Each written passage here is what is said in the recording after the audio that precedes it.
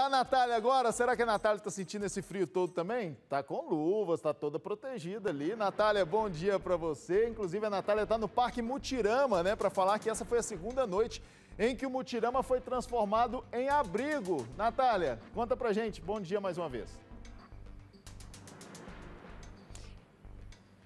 Oi, Marcelo, bom dia para você. Exatamente, viu? Tá funcionando como abrigo aqui esse espaço que antes era até é, reservado para quem quisesse, por exemplo, fazer as festinhas de crianças aqui, né? Chama Mutirama Festas. É um espaço, um, um, um local fechado, né? A gente sabe que tem janelas, tem a porta aqui. A porta está entreaberta porque agora há pouco uma das pessoas que estava lá dentro acabou de sair. Não dá para entrar muito ali, Marcelo, porque ali tem cerca de 40 pessoas que vivem em situação de rua e que aceitaram vir para cá. Elas estão todas agasalhadas, deitadas ali, encolhidinhas debaixo das cobertas, né? Tentando se esquentar. O pãozinho já chegou por aqui, chegou o café também. Conforme eles vão acordando, vão recebendo então esse lanchinho de café da manhã. Lembrando que essas pessoas, Marcelo, estão em situação de rua, passam muito frio frio nessa época do ano, porque realmente é muito gelado, né? Qualquer friozinho para elas que dormem ali às vezes no chão, sem agasalho, é frio demais. Imagina hoje, né, essa temperatura. Agora quando eu acordei para poder ir para a TV por volta de 5 horas da manhã, estava fazendo 7 graus. Então você imagina essas pessoas que estão em situação de rua. Agora uma coisa que a gente alerta também, Marcela, é sobre a doação de roupas de frio e cobertores. Pelo menos 40 pontos aqui da capital estão recebendo essas doações que vão diretamente para essas pessoas e para famílias também que, claro, estejam necessitando. Muita gente falando, né, que tem filhos que às vezes não tem aquele cobertor quentinho para dormir durante a noite, não tem um moletom. A gente sabe que essas peças de frio nesse, nessa época do ano ficam ainda mais caras e muita gente não tem condição de comprar. Então toda doação, principalmente nessa época, é sempre bem-vinda, Marcelo. É, exatamente, né? Pode levá-la para o Mutirama ou então procurar alguma ONG, algum grupo que faz algum trabalho de distribuição na sua cidade. Né? Procure saber aí, distribuição de agasalhos, porque a informação que está chegando para mim aqui agora, primeiro DP está recebendo também agasalhos, cobertores, enfim. Vamos ajudar, porque o frio tá demais, né? Obrigado, Natália, pelas informações. Daqui a pouquinho você volta com mais notícias para gente. Vamos para Patrícia Piaça, porque nesse frio todo, Mil casais devem participar hoje de um casamento comunitário, com direito a show de Maiara e Maraísa. Olha aí a dupla sertaneja, é uma das duplas mais famosas do Brasil, que vai participar hoje desse casamento comunitário. Patrícia, bom dia para você. Quem ainda quer casar, dá tempo? Pois é, Marcelo, olha só, já foi fechada aí, são cerca de mil casais, né, que vão casar, já fizeram este cadastro aí. E para quem quer casar, né, Marcelo, o frio é o de menos. O pessoal esperou tanto tempo, teve pandemia e muitos eventos adiados, né? Então o pessoal vai sim passar por cima do frio para poder se casar hoje, a partir das 6 horas da tarde, lá no ginásio de esportes Goiânia Arena. Esse é um evento promovido pelo Tribunal de Justiça aqui de Goiás, pela Corregedoria Geral também de Justiça de Goiás. Como eu disse, são mil casais que já foram selecionados aí já fizeram essa inscrição, né, que vão se casar no civil e tem presente, além de show, Marcelo, como a gente está vendo aí, show da Maiara e Maraísa, tem presente para esses noivos também. Olha só, cinco casais serão sorteados para receber geladeiras novinhas, outros 250 poderão trocar a geladeira antiga, velhinha ali, por eletrodomésticos novos. Esse é um programa da Enel que está apoiando também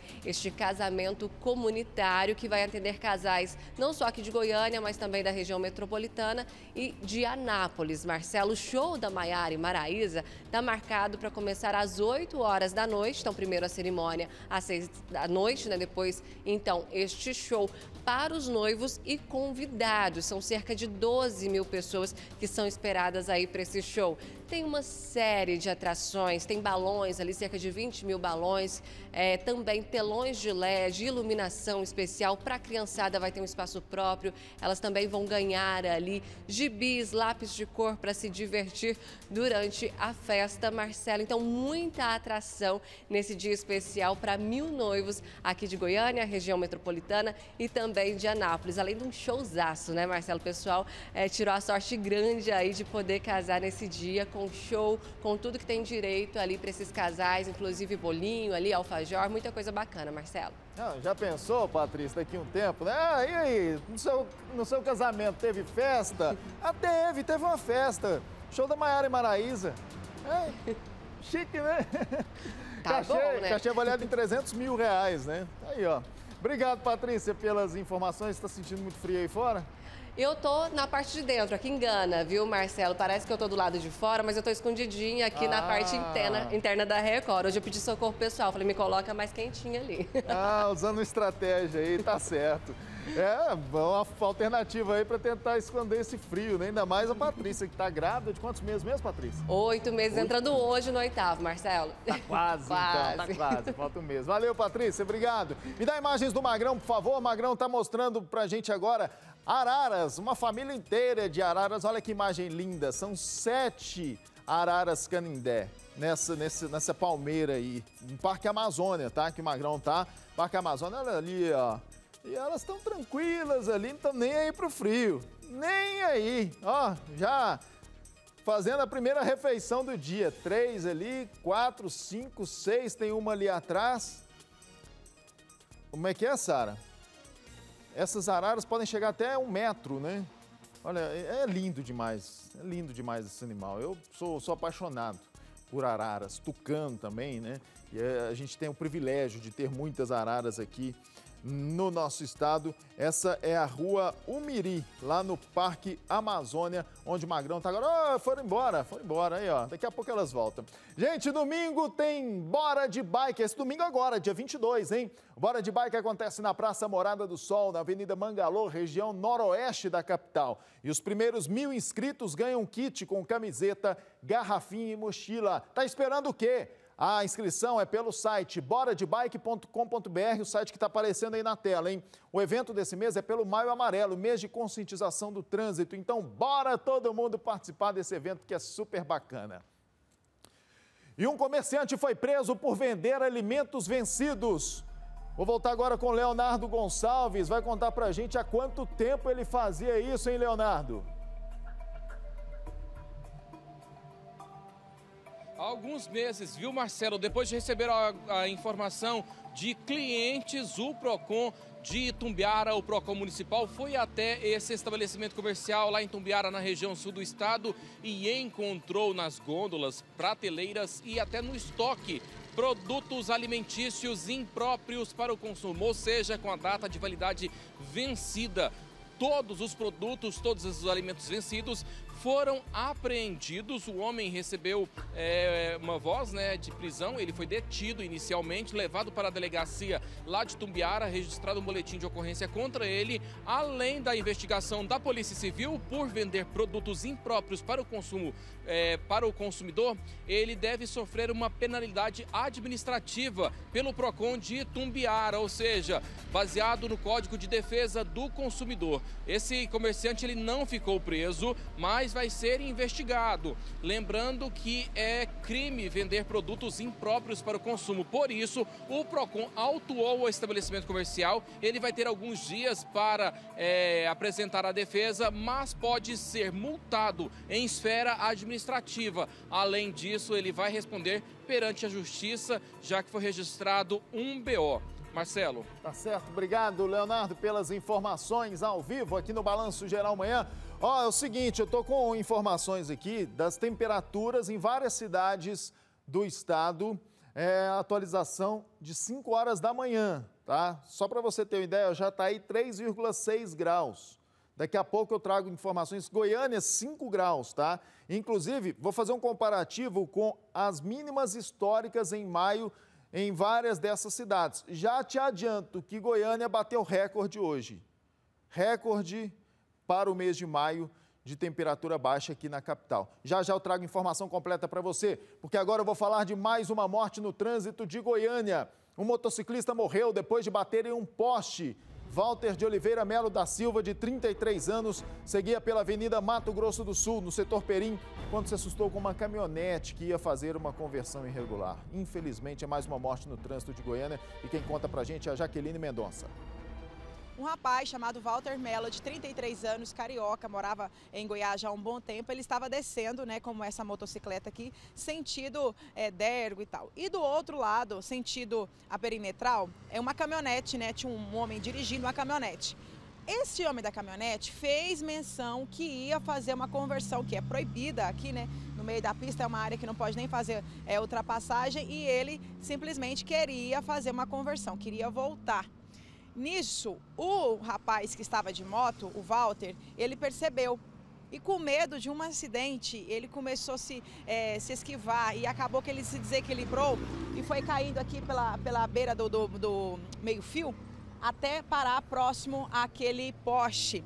O rapaz morreu na hora. Ele ficou bastante ferido, né? Principalmente a cabeça. Era um rapaz bem jovem, né? E ele morreu na hora. Aqui agora a delegada é, disse que está aguardando, né, o rapaz da caminhonete. Ela chegou a ver as câmeras de segurança e ficou claro que o homem não terminou de fazer a conversão. Ele começou e desistiu e seguiu, né? E o rapaz com medo de um acidente ele foi tentar desviar pela direita, acabou se desequilibrando. O exato que aconteceu, somente a perícia vai dizer.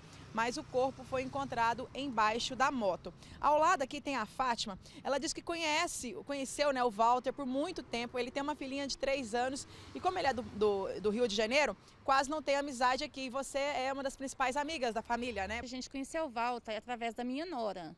É, aí eles são muito amigos dos meus filhos pela igreja, um rapaz muito bom, muito responsável, bom pai, bom filho, excelente marido, amigo, não bebia, não fumava, né? Foi uma tragédia assim que a gente fica muito triste por ser uma pessoa tão boa. Olha, o motorista da caminhonete foi embora do local, mas depois foi localizado pela polícia. Ele fez o teste do bafômetro que confirmou o consumo de bebidas alcoólicas. Olha, é, é ficar revoltado, né? Porque nós viemos de um final de semana recente com é, nove mortes no trânsito aqui em Goiânia e muitas delas provocadas por ingestão de bebida alcoólica, por motorista que estava dirigindo embriagado. E agora mais um caso. E a punição para isso? Hum, praticamente não existe.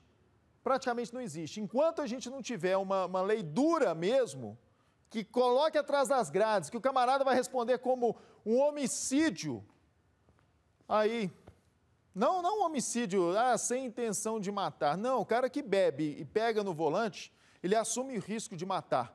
E tinha que responder da mesma forma que alguém que pega uma arma e dá um tiro em alguém. Sete horas, um minuto, essa foi a segunda noite em que o Mutirama foi transformado em abrigo para moradores de rua. A Natália Mendonça está lá agora, inclusive com um desses moradores, né, Natália? Conta aí a história dele. Exatamente, Marcelo. Tô de olho aqui é no cobertor dele, que tá tão quentinho, é o Eliel. Ele tava me contando aqui um pouquinho da história dele. Como é que você veio parar aqui em Goiânia e principalmente nas ruas? Bom dia. Eu vim parar porque eu não tinha auxílio, então eu consegui meu auxílio, eu, tava, eu fiquei dormindo na rodoviária. Você veio do Tocantins para cá? Do Tocantins, de Araguaína. Busca de emprego? Busca de emprego, eu sou lá de Araguaína, Tocantins. Oh, meu Deus, aí não achou emprego, ficou sem dinheiro, foi para as ruas. Como é que é a realidade nas ruas, principalmente agora nesse frio? Não, eu, eu igual dou conselho para todo mundo que ficar na rua não é, não é bom não. Principalmente nesses frios aí, é melhor caçar uma casa de apoio para dormir no quentinho, que no, na, dormir na rua não é bom, não. Como você mesmo disse, essa noite você dormiu no quentinho. Dormi no quentinho, ixi. Aí só na glória de Deus. Como é que foi? O que, que você recebeu? Tô vendo que você tá com cobertor, meia nos pés. Meia, recebi cobertor, meia, é... Outro, como é? Um... O agasalho. É, o agasalho. Teve comida também. Esse blusa de frio. Essa noite foi bem melhor. Foi bem melhor. Tá doido pra ir embora pro Tocantins pra perto da família. É, tô doido, hein? Ficar perto lá que é, é melhor ficar perto da família. Com certeza, muito mais quentinho, né? Obrigada, viu, Elielto? Vou conversar aqui com o secretário, secretário Michel Magu, que está aqui.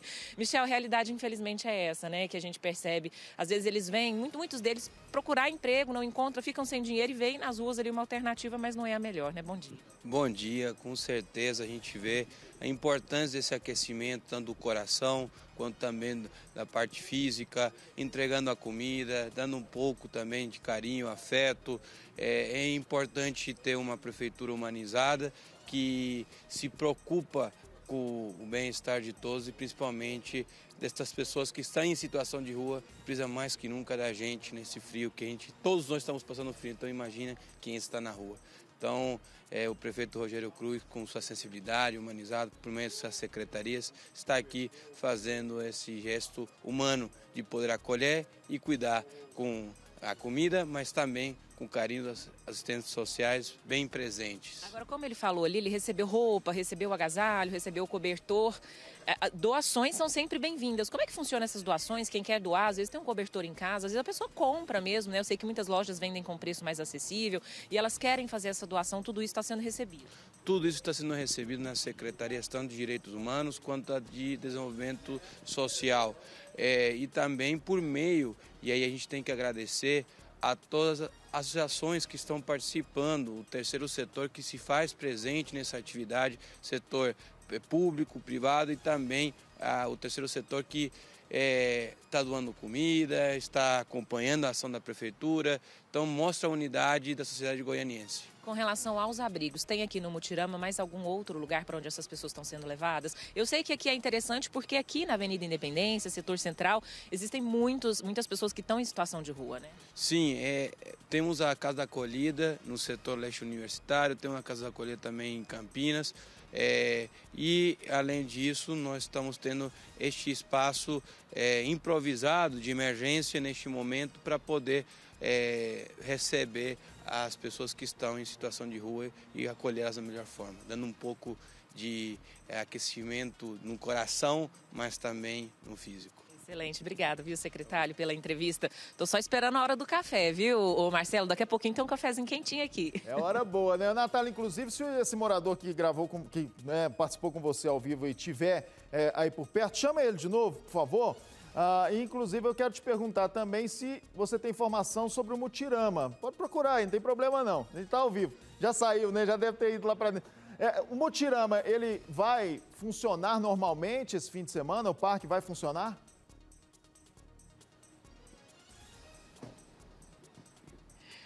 Vou até pegar essa informação. Vocês sabem se o Mutirama vai funcionar normalmente esse final de semana?